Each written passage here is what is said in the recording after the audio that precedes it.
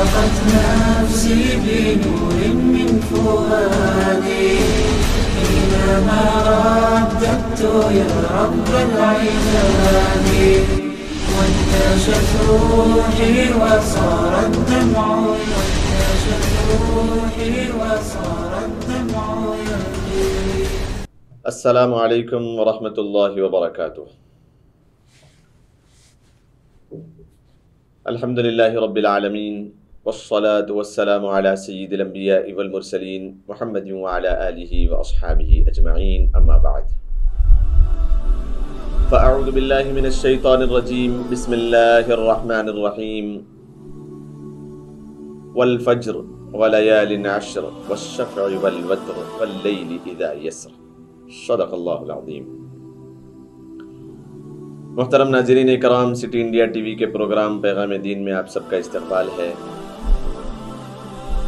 दुल्हज्जा की फजीलत के अनवान पर आपके सामने चंद बातें बयान करना मकसूद है। मोहतरम नाजरीन कराम जुल्हज्जा के पहले आशरे के जो दस दिन है, अल्लाह के हबीब सल्लल्लाहु अलैहि वसल्लम ने फरमाया कि रमज़ानुल मुबारक के अलावा सबसे ज़्यादा फजीलत वाले दिन अल्लाह तबारक ताली के नज़दीक अगर कोई है तो वह जुल्हज्जा के पहले आशरे के पहले दस दिन है। इसी वजह से अल्लाह के नबी सल्लल्लाहु अलैहि वसल्लम ने फरमाया कि रमज़ानुल मुबारक को छोड़कर कोई भी नेक अमल अल्लाह तबारक ताला को इतना ज़्यादा पसंद नहीं है जितना के जुल्हज्जा के पहले दस दिन में किया गया अमल। बताइए चला कि रमज़ान के अलावा सबसे ज़्यादा खदरदानी नेक आमाल की उन अयाम में किए हुए आमाल की है जो जुल्हज्जा के पहले आशरे में किया जाए। फजीलत यहाँ से आप सुनते हुए आगे चलें। अल्लाह के नबी सल्लल्लाहु अलैहि वसल्लम ने तशरी फरमाई इन आयतों की जिसको कुरान करीम ने इरशाद फरमाया इन इद्दत शुहूर इंदल्लाह इस्ना अशर शहरा फी किताबिल्लाह यौम खलक अस्समावाति वल अर्द मिनहा अरबअतुन हुरुम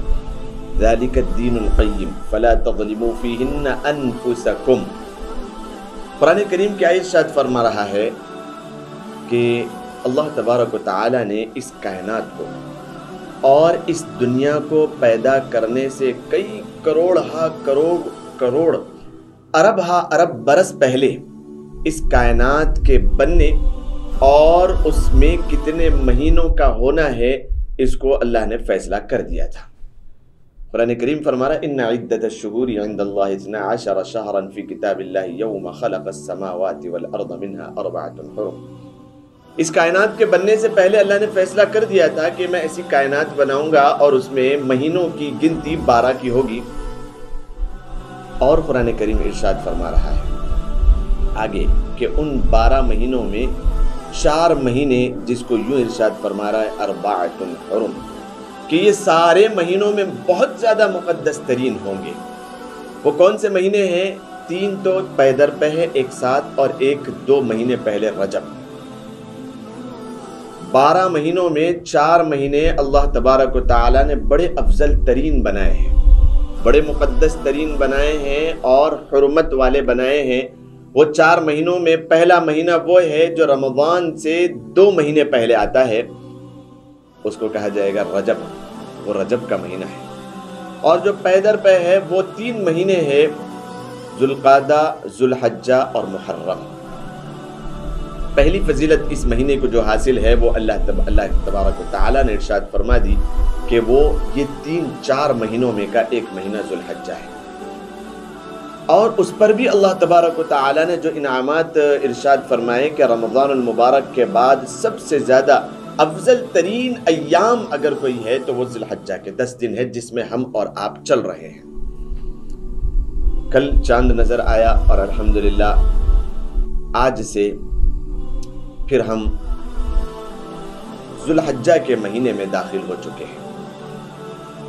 इसकी फजीलत तो पहले कुरान करीम की आयत से आपके सामने इरशाद फरमा दी गई और दूसरी फजीलत, अल्लाह तबारक ने इन रातों, इन दस दिन के रातों और इन दस दिनों की कसम खाई है कुरान। कुरान फरमाता है वल फज्र वलयालिन अश्र वश्शफ़ वल वत्र वल लैल इदा यसर.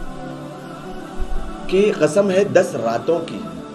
कौन सी दस रातें हैं? उलमा ने इरशाद फरमाया कि जुल्हज्जा की दस रातें हैं। क्या आमाल करना है और कैसे करना है? चंद बातें आपके सामने तस्करा करते हुए आगे चलूँ। सबसे पहली चीज़ तो इन दस रातों की अहमियत को आप समझें कि क्या फजीलत है। अल्लाह के नबी ने फरमाया, सारी कायनात के जितने दिन बने हुए हैं, रमज़ान को छोड़कर उनमें दस रातें और ये दस दिन इसकी बड़ी अलग स्पेशलिटी है और खसूसियत है। सबसे ज़्यादा अफजल तरीन जितने दिन और रात अल्लाह ने बनाए, उनमें सबसे ज़्यादा अफजल तरीन ये दिन और रात है। लिहाजा हमें चाहिए कि इस फजीलत को अपने जहन में रखकर इन रातों और इन दिनों में इबादत को ज़्यादा से ज़्यादा करने की कोशिश करें। दूसरी फजीलत यह है कि इन्हीं दिनों में अल्लाह तबारक ताला ने हज बैतुल्लाह को मशरू फरमाया। हज होता है अल्लाह के घर का और वहाँ की मुक़दस तरीन इबादतें, ये सारी की सारी चीज़ों को अल्लाह तबारक ताली ने साल के जिस महीने में रखा, उसका नाम रखा जुलहज्जा इन्हीं इसी महीने में होता है। इस महीने में अल्लाह तबारक ताली ने आरफ़े का वो दिन रखा है, जिसकी फजीलत के मुतालिक आप सल्लल्लाहु अलैहि वसल्लम ने फरमाया कि जो आरफ़े के दिन रोज़ा रखता है, अल्लाह तबारक ताली उस रोज़े की बरकत से पिछले सारे साल के उसके गुना मुआफ कर देते हैं और आइंदा साल के लिए एक नूर रोशन करते हैं, उस नूर की रोशनी में इंसान नेक आमाल की तरफ़ मुतवजह होता है।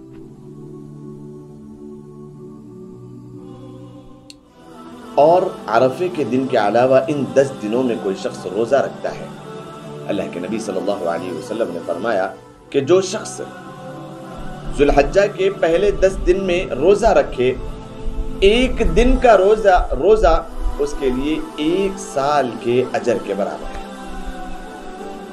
एक दिन का रोजा कोई रखे इंसान, उसको एक साल तक के रोज़े का सवाब मिल रहा हो, इससे बढ़कर और क्या फजीलत हो सकती है? अल्लाह के नबी सल्लल्लाहु अलैहि वसल्लम ने फरमाया, इन्हीं दिनों के बाद जो दसवीं जिलहज्जा है, ईद का मौका है, इसमें हमें क्या करना है? आप सल्लल्लाहु अलैहि वसल्लम ने फरमाया कि ईद के दिन कुर्बानी करना है। कुर्बानी करना है।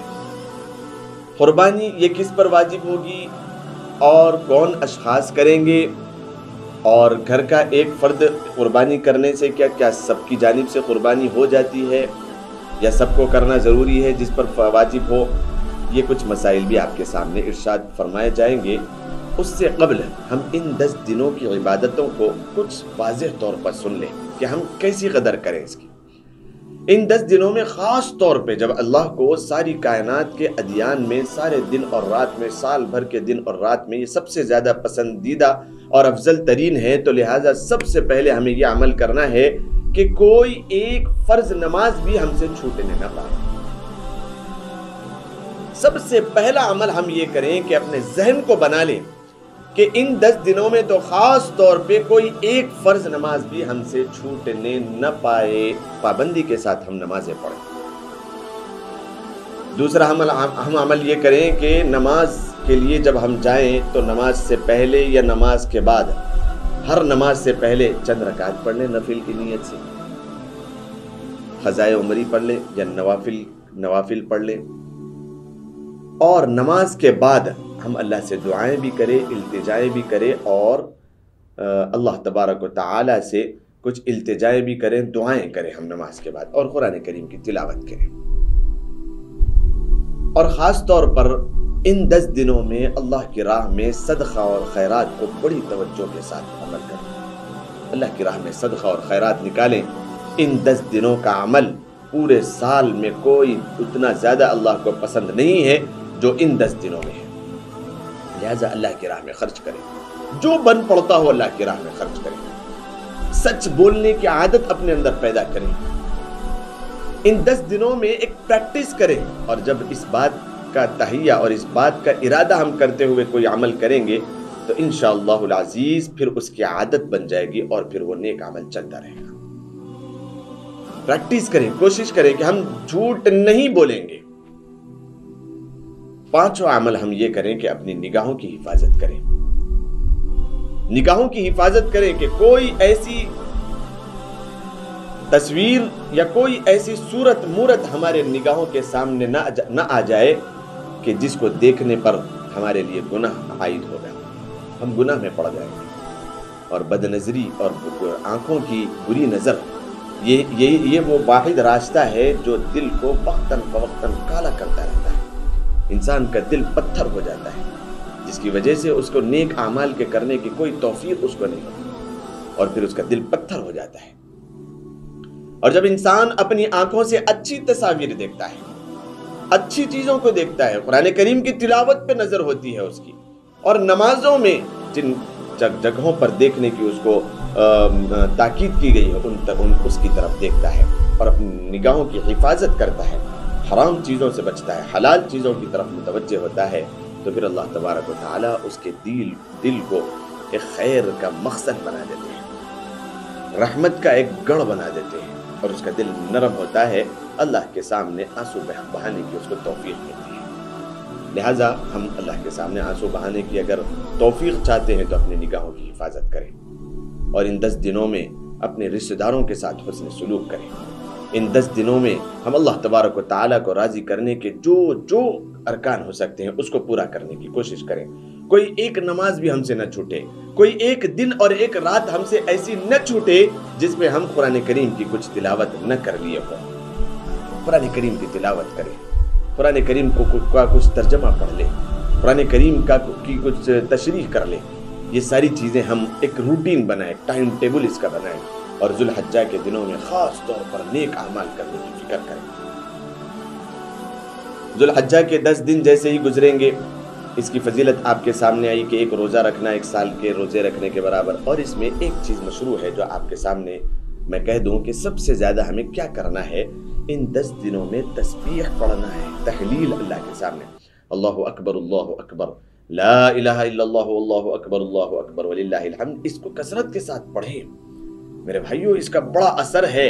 अल्लाह तबाला के हबीब सल्लल्लाहु अलैहि वसल्लम ने ये तहलील हमें सिखाई है।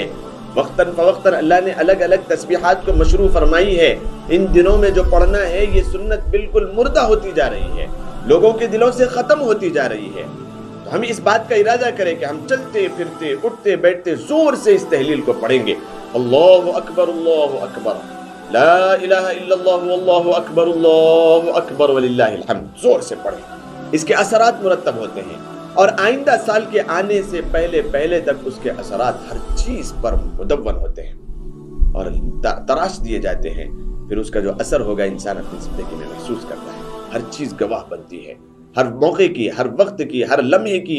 अल्लाह के हबीब सल्लल्लाहु अलैहि वसल्लम ने अलग दुआएँ, अलग तस्वीर सिखाई है। लेकिन जुलहज्जा की ये खास तस्वीर है। इसको पढ़ते रहे। ज़ोर से चलते फिरते ज़रूरत इस बात की है कि हम इसको पढ़ें। ज़ोर से पढ़ें। जब अयाम तशरीक शुरू होंगी, नौ, दस, ग्यारह, बारह, तेरह तो हर फ़र्ज़ नमाज़ के बाद एक मरतबा ज़ोर से पढ़ना वाजिब है। लेकिन उससे पहले इन दिनों में आहिस्ता। या फिर चलते फिरते ज़ोर से इस सुन्नत को ज़िंदा करें। सवाब ये होगा कि अल्लाह के नबी सलाम ने फरमाया कि कहीं मेरी सुन्नत मुर्दा हो रही हो, ख़त्म हो रही हो, और वो शख्स जो वहाँ पर उस सुन्नत को ज़िंदा करेगा, सौ शहीदों का सवाब उस शख्स को मिलेगा। लिहाजा इस आदत को बनाएँ, इसको ज़्यादा से ज़्यादा कसरत से पढ़ने की कोशिश करें। इन रातों में, इन जुलहज्जा की दस दिन में, की जो रातें हैं, अल्लाह के हबीब वसल्लम ने फरमाया कि इन रातों में इबादत करना शब कदर में इबादत करने के लगभग है। अब देखिए शब कदर को हासिल करने के लिए दस रातों तक जागना है बाद लोग एहतिकाफ में बैठना है ताख रातों में तलाश करना है अल्लाह तबारक ताली ने कितना आसान फरमा दिया कि जुलहज्जा के दस रातों में, पहले अशरे की दस रातों में अगर इंसान इबादत करता है, अल्लाह तबारक ताली की तस्बीह और तहमीद और तकबीर बयान करता है, अल्लाह की रज़ा के लिए दुआएँ करता है, अल्लाह को मनाने के लिए उसके सामने आहें बहाता है और आंसुओं को बहाता है। कुरान करीम की तिलावत कर रहा है, नफ़ी नवाफिल की कसरत कर रहा है सलाद तस्बी पढ़ रहा है तहजद की नमाज़ पढ़ रहा है अवाबिन पढ़ रहा है और उसकी ख़जाए उम्री की फ़िक्र कर रहा है। रातों में अल्लाह के सामने लगा हुआ है। कुरान करीम की तिलावत हो रही है, कुछ सीखने, सिखाने की कोशिश हो रही है। तो ये सारी चीज़ों की वजह से अल्लाह के हबीब सल्लल्लाहु वसल्लम ने फरमाया कि ये सारी की सारी इबादतों का सवाब शब कदर यानी कदर की रात में लई कदर में इबादत करने के लगे हमें चाहिए कि हम इन इबादतों को रातों में करें और अल्लाह के सामने रोने की कोशिश करें, अल्लाह के ख़जाने से लूटने की फ़िक्र करें। रही बात बकर की कि वो क्या मसाइल है क्या फ़जाइल है कैसे हमें क़ुरबानी करना चाहिए और आजकल के माहौल में क्या गलत फहमियाँ हैं इन आइंदा एपिसोड में आपके सामने इन चीज़ों को बयान किया जाएगा तब तक के लिए इजाज़त दें असलकम वरहमल वर्का